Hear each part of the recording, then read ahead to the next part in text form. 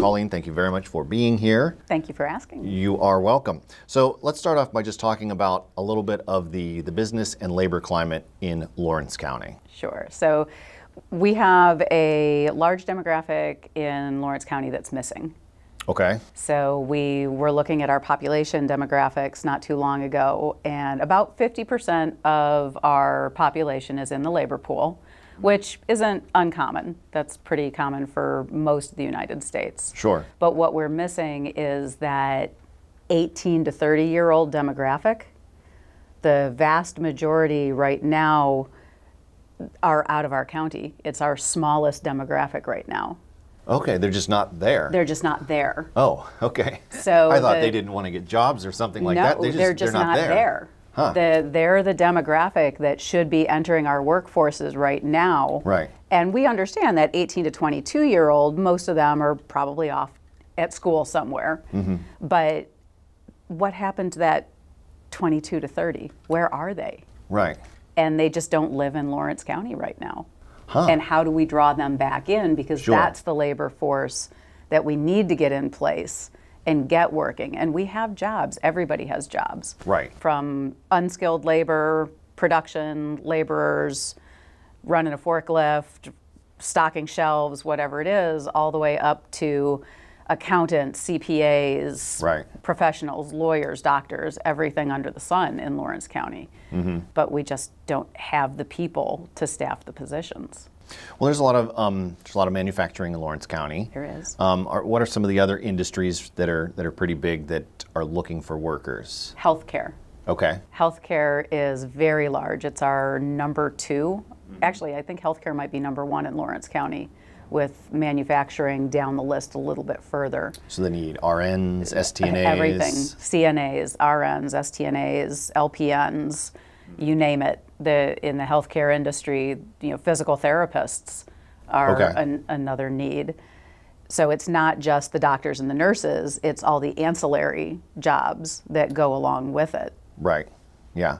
So I guess what are we doing, or how are how is your organization working to connect these people? Um, because it's a big it's a big question. I know there's a lot there, um, but um, if you could, we can chip away at it. So let's let's start chipping away at it. I Okay. guess. Sure. So basically, the CareerLink, just like every other one stop in the United States, we, we're here to link you to your next career. right. So our job as workforce development is to help employers and job seekers link up, meet each other, find the jobs that, that fit both of their needs. With workforce development, it's a little bit harder than just saying, okay, let's take this person and this person and put them together. That's what a temp service does, or that's what a, a recruiting service does. Right. We're actually there to help with those people who have the barriers to entry. Mm-hmm. We have a lot of people that come into our office, they don't know how to use a computer. Okay. Surprising number of people who don't know how to use a computer. They have they haven't written a resume in 25 years and they've lost their job. Or And they haven't enough, a lot of that's online now. and a lot of So, that's yeah. online. So Right, you're not going to so sit just- there and type out the resume. Right, You know. and they have no idea how to apply for a job anymore. Sure. You know, they're, the last time they looked for a job, they were knocking on doors and handing their resumes to people. Mm-hmm. And so now they have to update a resume that hasn't been touched in 20 years. yeah. They haven't interviewed in 20 years. Mm-hmm. And so, how do we get them upskilled? That's the new buzzword. Right. So how do we get them upskilled to the point where they can use the computer, they can apply for the jobs, their resume is updated, and all that's available through the CareerLink for free. Workforce development, our job again is to help get them upskilled to the point where they can get those jobs that they have other skills for, but Sure. maybe not the skills to find. So what are some of the um, what are some of the other skills that these people need to get? Are, are you um, getting them into workforce training programs so that they can get certification, so that they can get maybe a little bit of um, experience at a trade school or something like that? Absolutely. Through PA Mm-hmm. Career Link, we have what's known as tuition assistance. Okay. So eligible employees can go back to school. They do have to be approved providers Mm-hmm. and approved training programs. Sure. So we have a list, and every county in PA is a little bit different. So if you're looking at Mercer County or Butler County, Beaver County, or even into Ohio, because the one stops have the same thing. The Ohio Means Jobs centers have the same thing as we do. But the funding levels are a little bit different, and the mm-hmm. training providers are a little bit different. Mm-hmm. So, Lawrence County, what we refer to as our ETPL, our, our approved training providers list, on that is, are things like New Castle School of Trades Right. and Laurel, Laurel Technical Institute, um, Precision Manufacturing Institute. And those different training providers offer different courses. Not all of their courses are approved for the tuition reimbursement Gotcha. or the tuition assistance. Right. But that's why you come down to the CareerLink, you speak with one of our employment training specialists, and we can determine what your interests are, where your skills are, and what additional training you might need, and then make a determination as to whether or not there's assistance available. But there is probably a job for you. There's oh, There's there's, a definitely for a job for you. Right. There's a, there are actually more jobs available right now than we have people to fill them. Well, let's talk a little bit about um, what's going on in Lawrence County right now. Could you talk a little bit about um, some of the developments, some of the some of what's happening in Lawrence County right now? Lawrence County is growing. Sure. We are continuing, unfortunately, not from a population standpoint. Right. Well, that's that's kind of you know throughout the Mahoning and Shenango Valley Right. area. That's that's a problem. Yeah. Right, and as I had mentioned earlier, one of the demographics that we recently looked at was labor pool and age groups within that labor pool. Mm-hmm. So Lawrence County is about a 50% of our population is available for our labor pool. And again, that's not uncommon. Right. That's pretty consistent across the United States and especially our area here around the Mahoning Valley.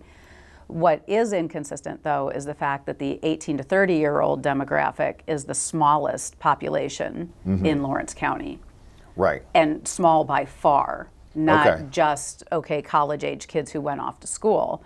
It's a significant decrease in our county.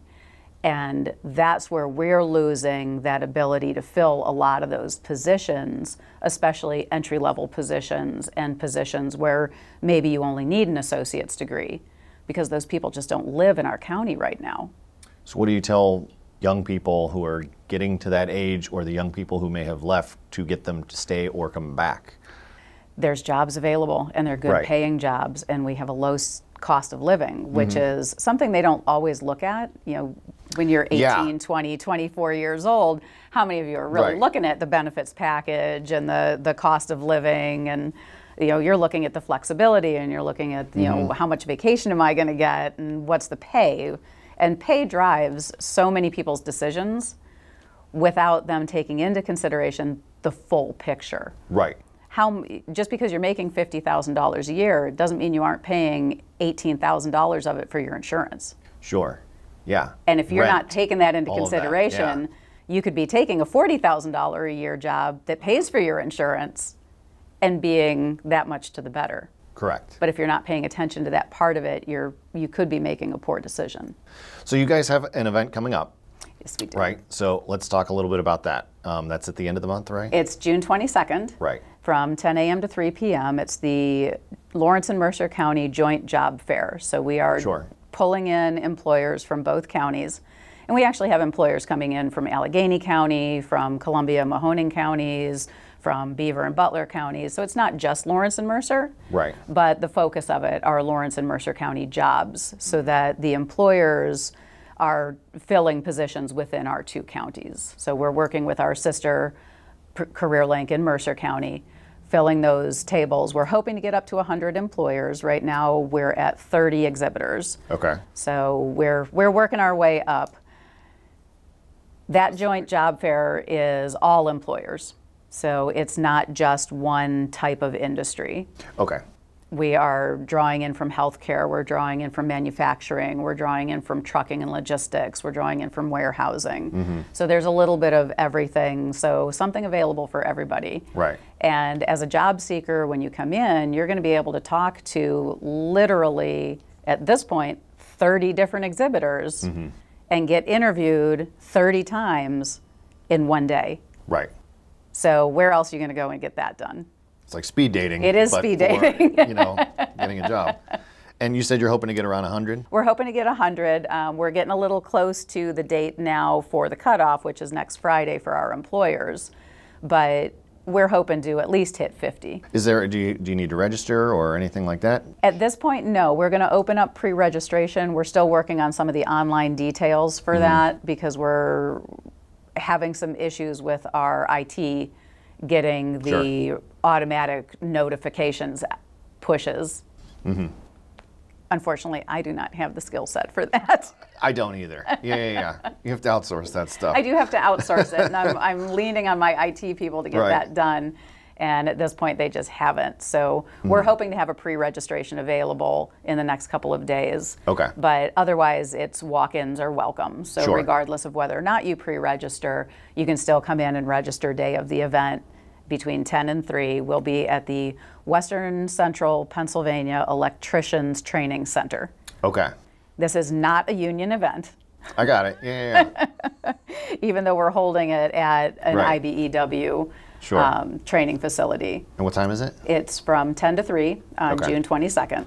Got it. And is there, where can we go to find more information? More information is available on our joint job fair website, which is www.tinyurl.com slash jointjf. Okay. We'll put that up on the screen. Got it. We have a QR code for that too. Okay. Fantastic. Um, I guess, is there anything else that you wanted to talk about as far as jobs in Lawrence County or anything going on with your organization? I would like to mention Yeah. that we do have a new employer moving into the county, Sure. Bunting Aluminum, and they're expecting to be up and running in 12 to 18 months. So they're looking for all positions, Mm-hmm. and those positions range from shop floor to all of the office positions that you would have in any type of manufacturing. Right. So they're a huge get for Lawrence County. Uh-huh. We're very excited to have them coming in and working closely with the CareerLink to fill those positions. 717 Credit Union. Business services designed to meet your daily needs. Commercial loans, business deposits, merchant and payroll services. 717 Credit Union. It's knowing you were treated right every time.